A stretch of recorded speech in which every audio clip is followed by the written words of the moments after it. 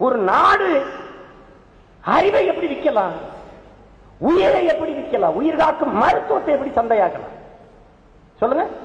உங்களுக்கு காசு இருக்கா? நல்ல மருத்துவம் பார்த்து உயிரோட வரலாம். உங்களுக்கு காசு இல்லையா? பாடை கட்டி நேர சுடுகாட்டுக்கு போகலாம். இதுவா ஜனநாயகம்? இதுவா?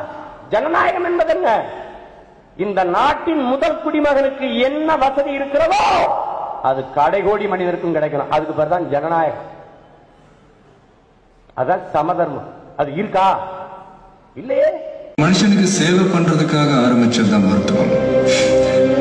ஆனா இன்னைக்கு அதுதான். உலகத்திலே நம்பர் ஒன் வியாபாரமா மாறிட்டு இருக்கு. உயிர்ன்றது எல்லாருக்கும் ஒண்ணுதானே? பணக்காரங்களுக்கு ஒண்ணு ஏழைங்களுக்கு ஒண்ணுதான் இருக்கு. இல்லையே.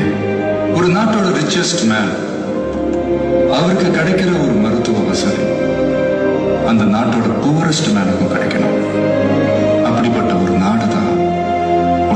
சிறந்த நாடு இந்த உலகத்தில் இருக்கிற ஒவ்வொரு மனுஷனுக்கும் இலவச மருத்துவம் கிடைக்கிற வரைக்கும் நான் போராடுறேன். கவர்மெண்ட் ஹாஸ்பிட்டல்ஸோட தரத்தெல்லாம் ஜாஸ்தி பண்ணணும் அதுக்கு ஏதாவது ஐடியா வச்சிருக்கீங்களா?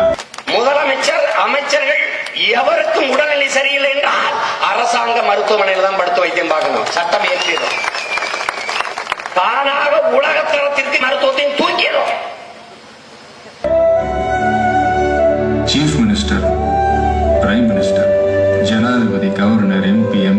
ஐஏஎஸ் ஐபிஎஸ் ஆபீசர்ஸ் சுருக்கமா சொல்ல போனா எல்லா கவர்மெண்ட் ஸ்டாஃப்ஸும் கவர்மெண்ட் ஹாஸ்பிட்டல்ல மட்டும்தான் சேரணும்னு ஒரு சட்டம் கொண்டு வந்தா எல்லா கவர்மெண்ட் ஹாஸ்பிட்டல்ஸும் உலக தரத்துக்கு வந்துடும் இப்போ ஒரு கேள்வி ஏழு விழுக்காடு தான் ஜிஎஸ்டி வரி போட்டிருக்குது சிங்கப்பூர்.